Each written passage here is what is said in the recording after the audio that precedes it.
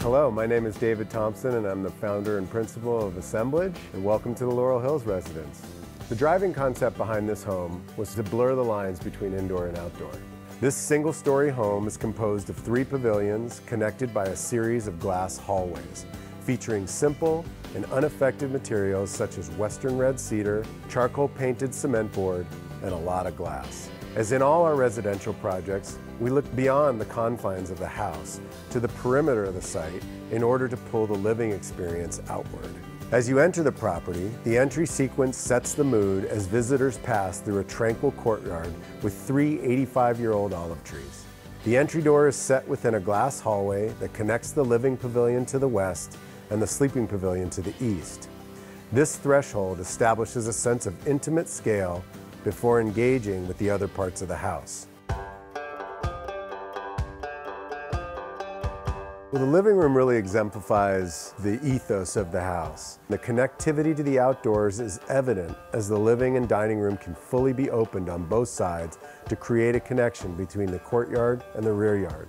When the living room is completely open, the various seating arrangements and outdoor rooms allow for seamless connectivity between the spaces. The furniture pieces are in complete harmony with the ecosystem of the architecture. I'm a huge fan of Charles and Ray Eames and their work, and I've always wanted one of their lounge chairs. And this is an extra special design piece that has been in my mind since the home's inception.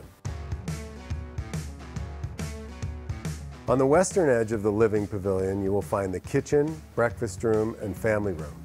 And this is one of the spaces that my family, we spend most of our time.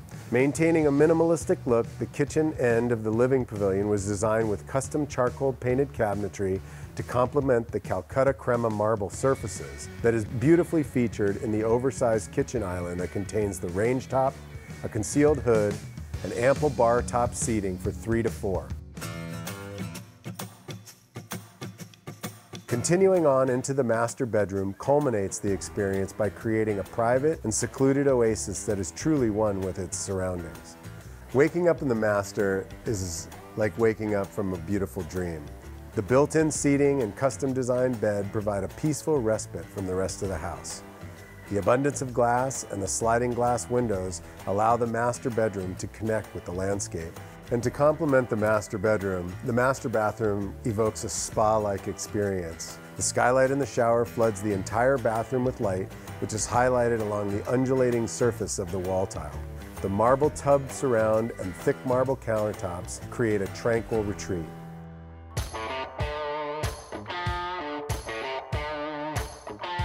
Now the outside is something you have to experience. The 40-foot long pool and ample yard space create a series of outdoor rooms for outdoor entertaining that seamlessly interact with all of the public spaces of the interior of the house.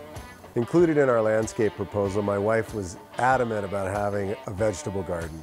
We have a small raised Corten planter that has tomatoes, cucumbers, and zucchinis. And with an extensive backyard like this, why not? Thanks for joining me today. That concludes our tour of the Laurel Hills residence. I enjoyed spending time with you, and I hope to see you here again soon.